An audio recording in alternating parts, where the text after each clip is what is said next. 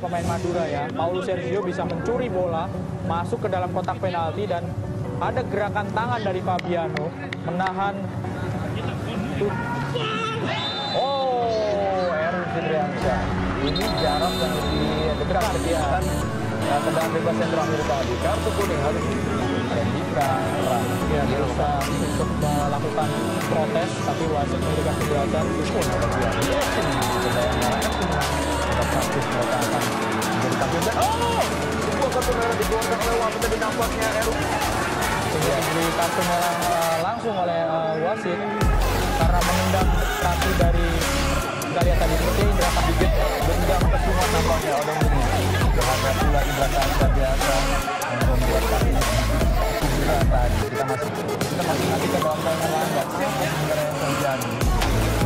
ya tidak bisa melanjutkan pertandingan sekali Oh, keputusan yang tepat ya dari eh, wasit karena memang profesional foul ini ya ya yang terkena hantaman kaki dari Odominggi Indra Kavi yang masih belum bisa bangkit juga ya. pada Spaso. Memang tadi ada gerakan kaki tambahan. ya, kaki Ya. terlalu tinggi ya dari sepatu meskipun juga Munhar mungkin tegak emosi dari pinggir lapangan kita lihat ini ya ada gerakan dari Munhar Ini dia yang saya maksudkan gerakan tambahan tadi dari seorang Spaso di laga penutup dari Bayangkara FC menghadapi Persija Jakarta.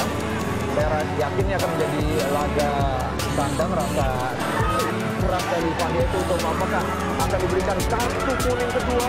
Dan ini tandanya dari Fandi Eko Utomo yang baru masuk di babak kedua. Kita lihat tackling dengan dua kaki dan sangat berbahaya. Dia padahal sudah mendapatkan kartu kuning.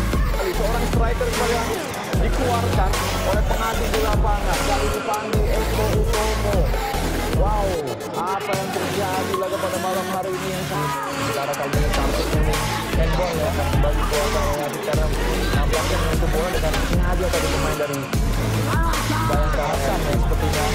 lambat ya mengenai tangan dari ya, Alsan Putra ketika dia ber- berusaha ada di atas. Baik sekali kali ini virtuoso sendiri saja. Sulit menurut saya. Ini bukan gaya seorang virtuoso, ini adalah gayanya Odong Wingi biasanya. Ya. Ini masih dapat diblok tadi oleh Paulo Sergio. Iya, kembali. melakukan clearance tapi ditahan ya tackling yang terlambat dan dia dua Ya, kaki yang di belakangnya masih ada kaki lagi tepat di depan uh, wasit sebuah pelanggaran yang sangat keras Ya, ada di Madura United FC. Ya, kita masih menantikan siapakah yang anomali ya Ya. Hujan kartu kuning terjadi di laga pada malam hari. Oh, kartu merah diberikan kartu merah oleh wasit Syed Fahita Zeni asal Iran di laga pada malam hari ini. Apakah pemain dari Bayangkara nah kartu merah ya kartu merah ya Rizky sang pahlawan menurut saya bagi Madura United dengan